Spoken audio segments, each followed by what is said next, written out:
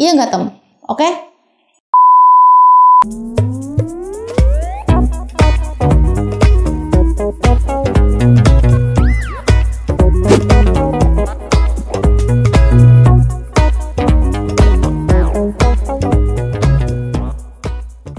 Halo Kid Lover semuanya Selamat datang di program baru Say Putra Project yaitu dari Anabul Nah di program baru kali ini aku mau ngobrol tentang kucing Ya bisa jadi pengalaman ngurus kucing, suka dukanya punya kucing di rumah atau kelakuan-kelakuan lucu dan ajaibnya kucingku yang mungkin relate sama kalian. Pokoknya untuk program Diari Anabul ini, kita akan ngomongin kucing terus deh.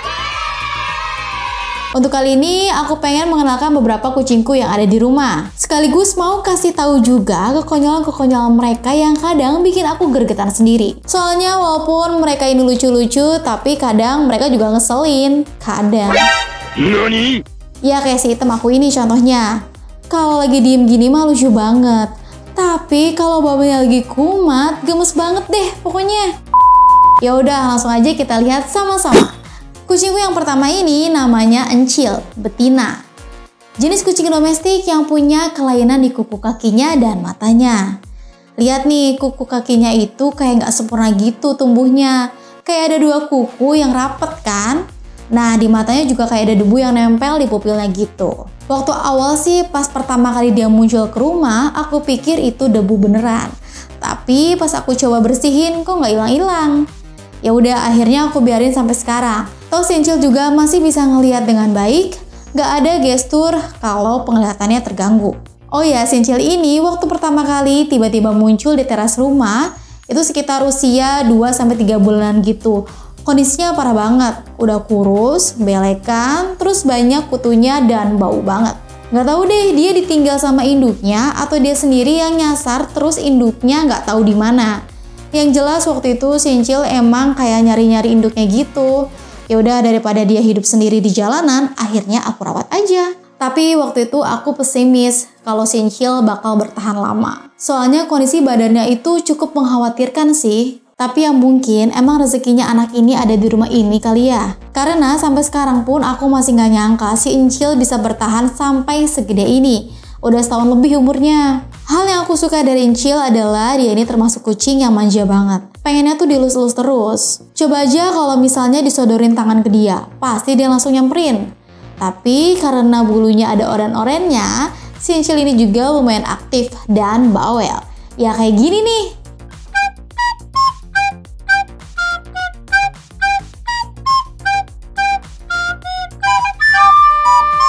Kucing aku yang kedua namanya Triana. Betina, kucing domestik juga kayak Encil.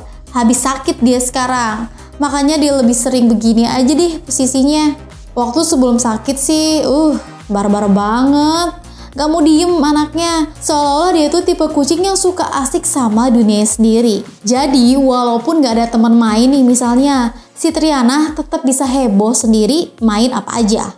Lihat aja nih hasil kerjaan si Triana. Sofa di ruang tamu sampai habis begini. Wallpaper dinding juga rusak dicakar-cakar sama dia. Makanya si temaku ini suka kesel sama Triana. Suka marahin Triana sampai si Triana ini suka ngumpet-ngumpet gitu. Waktu awal Triana datang ke rumah, kondisinya hampir sama kayak Encil. Jadi selang seminggu setelah Encil datang, Triana juga tiba-tiba muncul di depan rumah. Tanpa teman, tanpa indukan, dan benar-benar sendirian. Tapi bedanya sama Encil, adalah kondisi Triana jauh lebih sehat waktu itu. Dalam artian, badannya lebih gemuk dari Incil waktu itu. Gak belekan, terus gerakannya masih lincah.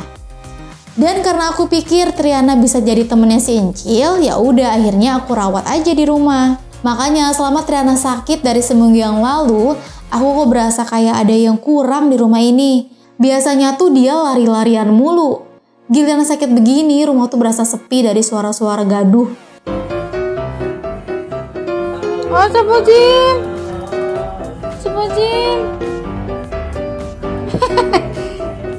Kucingku yang ketiga namanya si Ebol. Kucing Persia, betina, umur sekitar 4 tahun. Ya sebenarnya si Ebol bukan murni kucing aku sih. Awalnya dia itu kucing saudaraku dan karena ada beberapa hal jadi dia dititipin dan udah beberapa bulan ini di sini terus. Makanya dari semua kucing yang ada di rumah, cuma si Ebol doang yang nggak bisa dipegang-pegang. Maksudnya dia pasti berontak kalau dipegang-pegang atau digendong misalnya. Bahkan disentuh sedikit pun badannya langsung nolak. Kayak gini nih. Satu hal yang bikin aku heran sama si Ebol ini. Dia itu termasuk kucing yang lempeng banget. Datar aja gitu mukanya. Kayak nggak punya semangat buat ngapa-ngapain gitu. Terus juga dia lebih senang tiduran terus. Diajak main sama kucing lain, diem aja. Sekali gerak, paling kalau nggak mau makan, minum doang. Selebihnya cuma tiduran, ngelamun, bersihin bulu, terus tiduran lagi. Misalnya waktu ada kucing yang berantem aja. Kalau kucing-kucingku yang lain kan mereka kepo atau ikutan takut. Lah ebol mah anteng kayak bodo amat gitu. Bayangin aja, pas dia lagi minta makan pun, gak ada tuh kayak kucing-kucingku yang lain yang ngeong-ngeong. Si Ebol mah cuma duduk manis di tempat makannya, terus ngelamun. Jadi kalau kitanya nggak peka ya udah Ebol gitu terus.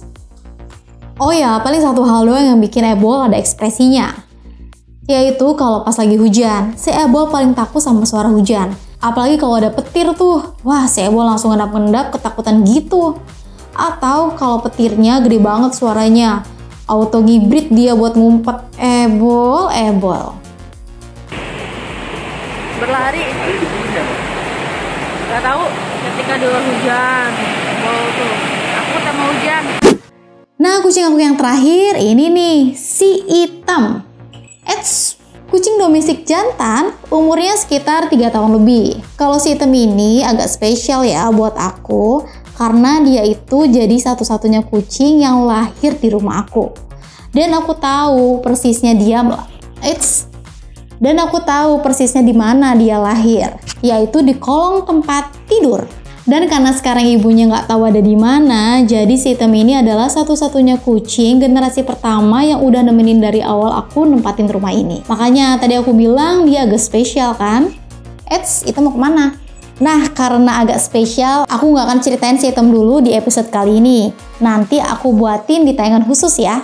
Sebenarnya sih masih ada beberapa kucing lagi sih, cuma mereka tuh datang pas mau minta makan doang. Jadi setelah makan ya udah pada pergi lagi, nggak ikutan tinggal di sini.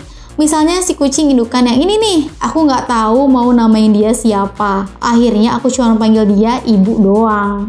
Soalnya dari pertama aku nemuin dia 2 tahun yang lalu, entah udah berapa kali dia lahiran, 4 sampai 5 kali gitu ya. Dan selalu bawa anak-anaknya ke rumah tapi kebanyakan anak-anaknya itu emang pada meninggal gitu karena sakit. Dan sekarang nih si ibu baru lahiran lagi, tapi nggak tahu lahiran di mana dan naruh anaknya di mana. Ya palingan kalau anak-anaknya udah bisa jalan, paling bakal dibawa ke sini juga. Oke, okay, itu dia perkenalan beberapa kucing yang ada di rumahku sekarang. Tapi ya sayangnya aku nggak bisa nampung lebih banyak kucing lagi, yaitu udah maksimal jumlahnya. Karena kalau kebanyakan, kasihan tetangga yang jadi terganggu kalau kebanyakan kucing. Soalnya beberapa kali juga aku dapat keluhan dari tetangga gara-gara kucing-kucing aku yang suka ngerusuh di rumahnya. Untungnya karena tetangga aku tahu kalau mereka tuh kucing-kucing aku palingan cuma diusir doang. Nah, kalau kalian yang punya pengalaman serupa, share aja di kolom komentar ya. Oke, segitu dulu tayangan Diari Anabul episode kali ini. Sampai ketemu di tayangan selanjutnya. Kalau gitu aku pamit ya. Bye.